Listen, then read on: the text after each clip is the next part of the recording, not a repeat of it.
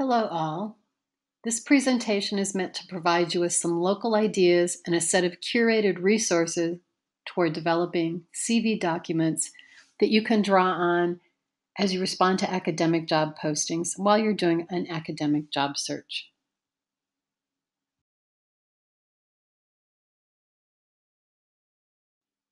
Let's start with the idea of experience, and specifically here with Jimi Hendrix, Are You Experienced? Recorded and released in 1967, just as Hendrix was entering into the world of music, this album marked his unique space. In music, he was doing things with a guitar that no one else had thought to do, creating a musical sound from specific knowledge, skills, performances, and compositions he uniquely created. So, yes, he was uniquely experienced with a unique professional story to tell, as are you.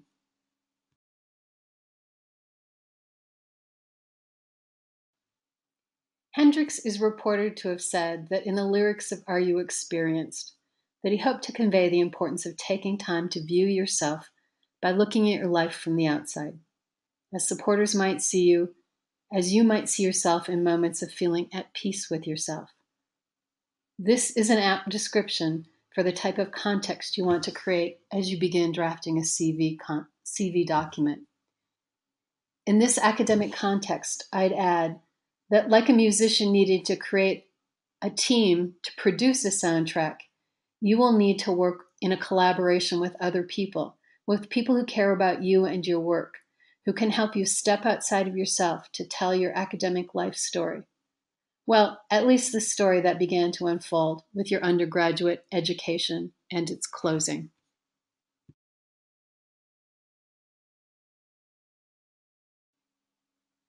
The story that your CV needs to tell is a true story, where true is about correctly lining up the elements of your CV document so that the details of your work align with the position announcement, the requirements, and the college or university's institutional, historical, and community contexts. This true story sets out the broad context of what you've done as an academic the knowledge you've gained, the skills you've developed, the abilities you've honed in using the knowledge and skills together, the leadership you've provided within your university and outside of it, the research focus and its development, likely through collaboration and often also expressed in teaching innovations.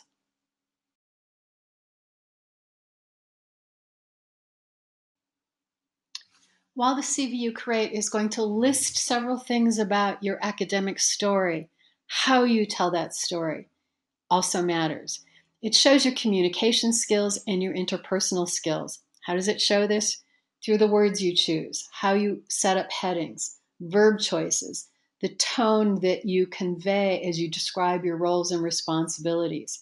These are all verbal cues. This is the body language of a written document as you set out your accomplishments, but also set out who you are and how you developed as a human being to tell this story.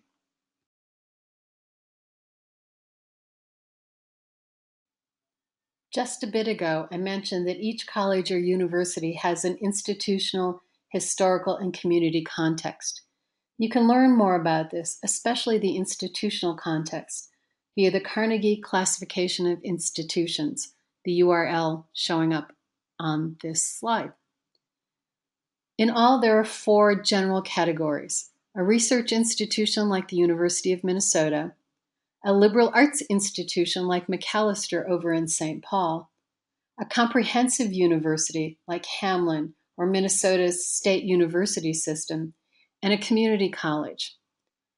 The four different types require different versions of research, teaching, and service. If we look at a research university and a community college, you'll see some of the differences. In a research university and in the job postings that you'll see for positions at research universities, you will often see that expertise and requirements are built around research, followed by teaching and service. Increasingly, research universities are looking for people who are teaching ready, even if they haven't had teaching experience, though the emphasis remains on research. At a community college, the emphasis is on teaching and then service and then research. Often that service at a community college is locally within the university itself and also in the nearby community. Why know these things? If you set up a CV that puts research at the very top as the first thing someone sees and you're applying for a community college job, you will generally lose that person's attention. And in its reverse thinking, if for a research university you put teaching up front, you're going to probably lose the attention of people who are looking to understand your research skills, capacity, capabilities, and future direction.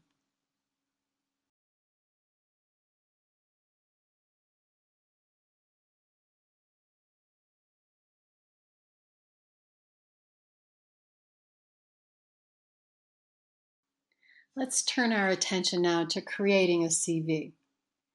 In creating our CV, our advice is really to create at least two distinct documents a static and a dynamic document.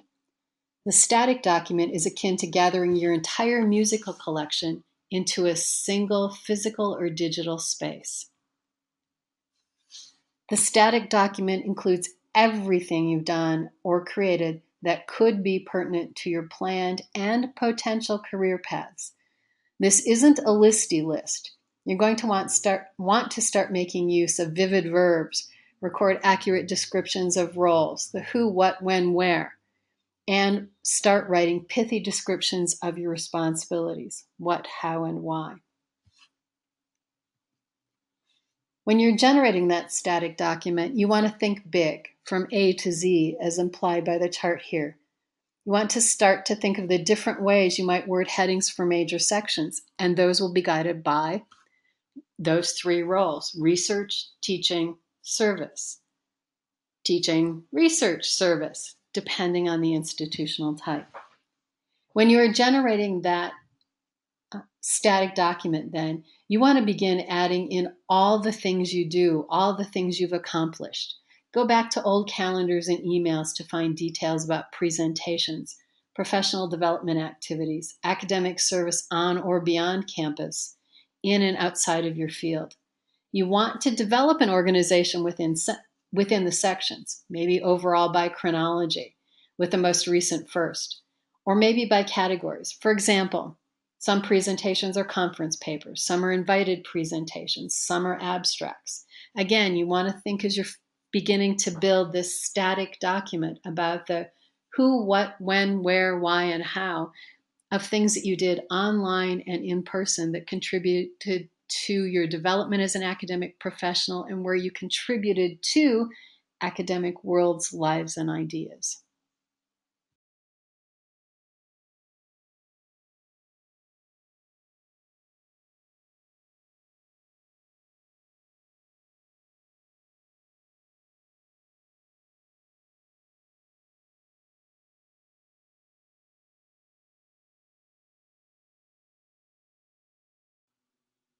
And with this slide, we're shifting into the dynamic CV, which is like the playlist that you develop from that static, really large music collection, really large academic, true and strong story that you've collected in a static CV. So we're talking dynamic here. And in talking dynamic, what you're going to think about is how you pull together from that static material a dynamic document that's developed to align with the job post specifics, the institutional type, and some linked context, which might include um, the kinds of future directions that they would like this candidate to be taking.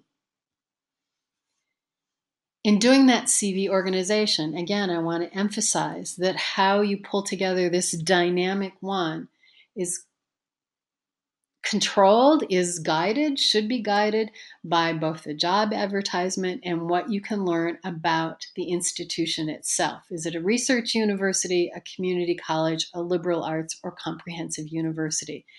Within that Carnegie uh, resource I shared, you can even look for specific institutions to find out more about them.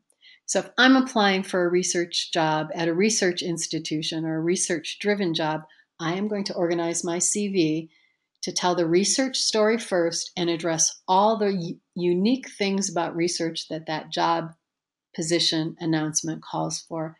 Then I'm going to address teaching, and then I'm going to address service.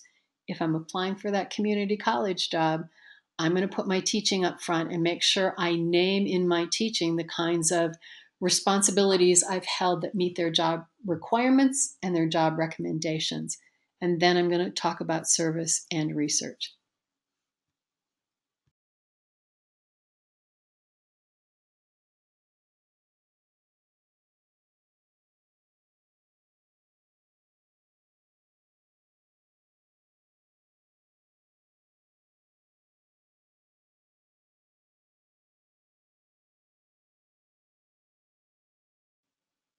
Because academic and non academic institutions, fields, and departments are unique, there are CV variations.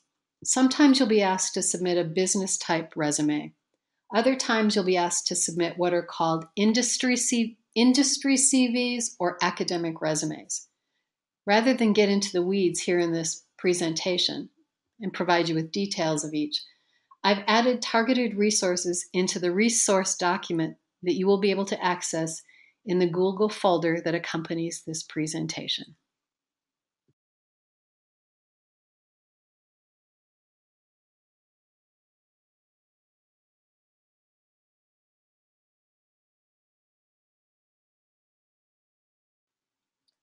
For the remainder of this presentation, I'll share with you images CVs. These will help provide a quick visual cue about key aspects of CV development. Rather than have you scrutinize these particular slides, we have created that Google folder with resources to support you in the development of your CVs.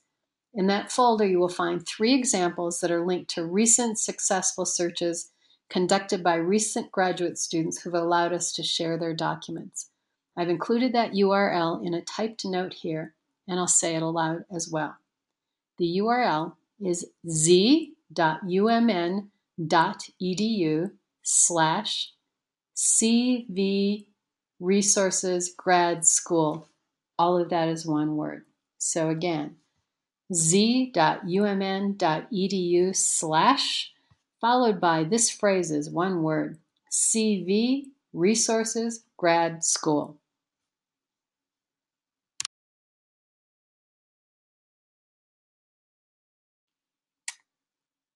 The next five slides set out some key ideas. The first of these is to create a document that's easy to scan.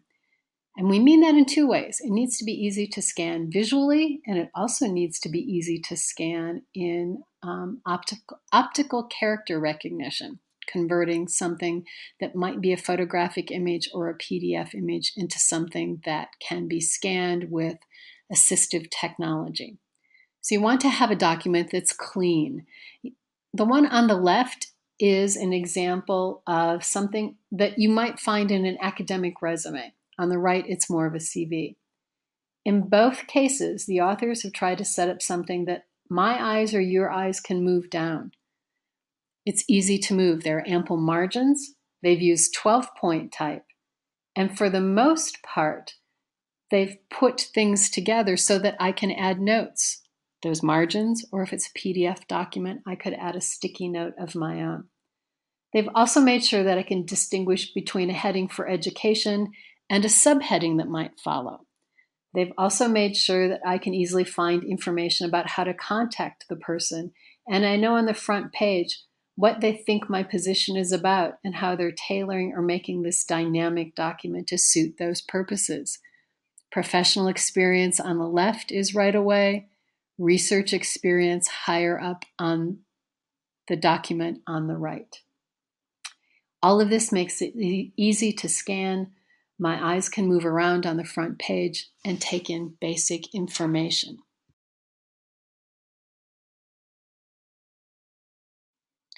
And in these two documents, I want to call attention to the use of parallel construction. That is, the elements are the same for things that are in common. On the left, the writer sets up parallel headings, gray boxes, and capital letters. Underneath what's parallel are the ways the person will set out their jobs. A description on the left, the dates on the right, some key roles named, and some key achievements listed. Overall, this is more of a resume than a CV document. On the right, the writer uses a CV mode and is again careful to set out parallel elements. They name the position, they name where it was, they name the place, and again, some attributes about roles and responsibilities as well as dates are listed. These constructions remain the same throughout each of their documents. Let me add to this by pointing out that both of these documents show a bit of a problem with scan. Each has top margins that are too small and right margins that are also too small. Again, it's probably better to have a longer CV and let your readers have a restful read as they scan your document.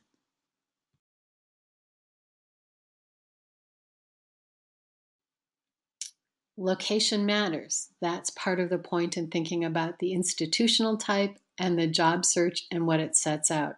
The first thing that's listed in a job search advertisement is about teaching. That's a cue that teaching is probably what you want to put up top. If it says research, that's the cue for putting research. Again, think about location as you develop your CV. Let's look at these two examples specifically. The example on the left is meant to be shared broadly within a research setting. The training through education and research points are listed first, and the teaching experience follows to demonstrate that this person will be a quick starter in meeting the teaching role expectations. The writer tells us about her academic experience and the several different roles she has taken to show the comprehensive span of her academic experience exactly what that advertised position noted is required. She's made sure to lay those things out. From this, the reader can turn to the pages that follow for a fuller story. The one on the right puts a recently completed funded project opportunity up front, with educational and teaching experience on either side, as this position called for someone with teaching experience who is also positioned to take on research responsibilities for an emerging project.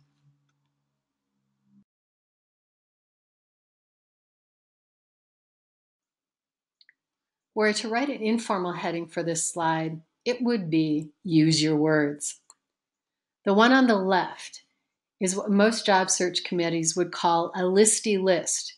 It works a bit like a listing of tracks on a CD or a sequence of turns and maneuvers you're following in a virtual map. The writer of the first document uses their words in the program development section about midway in the view, but not so much elsewhere and the parallel construction falls off in the professional experience section. On either side of these two segments, I see only lists and not a person who's doing or has done the work. As a reader, I will have to think about how, I will have to think hard about how and whether the items listed align with the job call. With the example on the right, a reader might be thinking, as I did, oh, that's what he did, and that would be useful here. Again, use your words. Use strong verbs to describe what you did. Use active language to show you doing the work. And use parallel construction and an easy scan to help people move through and take in your story.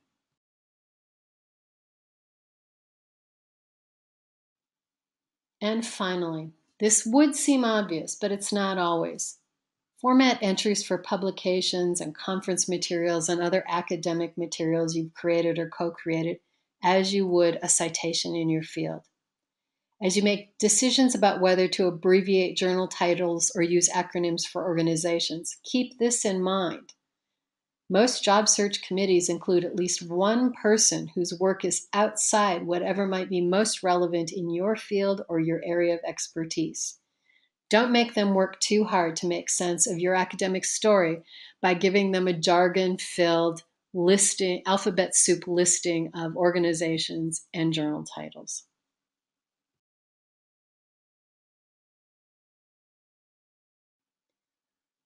As we close, remember this whatever your experience, whatever document you're creating, whether it's the whole musical collection in a static CV or that more tailored playlist for a dynamic CV in a specific context. You'll be writing a document that needs to follow rhetorical conventions linked to organization, and you'll need to be attentive to making rhetorical choices. Use your words. Do all of this to show your audience who you are by showing how your academic story aligns with that job posting.